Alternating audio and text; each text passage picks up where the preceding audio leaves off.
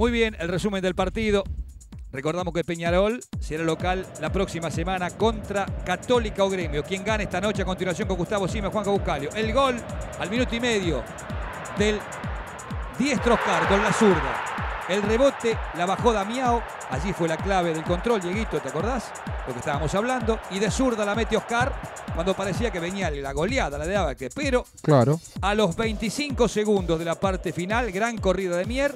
Mire lo que hace Martinucho, tomá y devuélvemela, le dijo Olivera, Martinucho, Martinucho con la derecha, bomba al ángulo 1 a 1. Bueno, se silenciaba el estadio Beira Río con un gol extraordinario. Martinucho la pudo haber tirado al Olímpico de Porto Alegre, porque es zurdo pleno.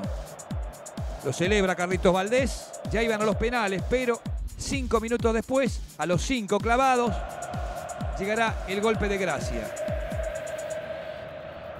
Allí la va llevando Aguiar, tiró un centro bárbaro. Aguiar, cabezazo pleno de Olivera y el gran gol del equipo de Peñarol que ganó a lo macho, como alguna vez se dijo en los 60. Peñarol 2, Inter 1.